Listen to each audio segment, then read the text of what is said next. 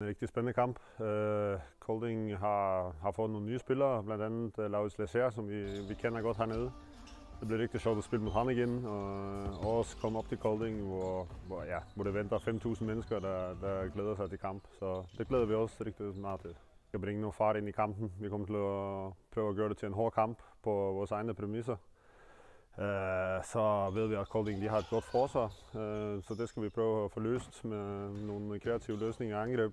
Øh, og så skal vi bare blive ved med at bygge videre på vores eget forsvarsspil, som har set fornuftigt ud. Øh, og så ja, håber vi at komme tilbage på vinderspor igen efter, efter vores kamp øh, i European League. ja. ja, det har jeg faktisk lidt glemt, men, øh, men øh, det bliver jeg mindet på i dag. Øh, vi håber selvfølgelig, at øh, Annette skal i gang med de helt store øh, ting ude i køkkenet, øh, så vi kan få os en, en flæskesteg igen. Det, det, det håber vi virkelig meget på.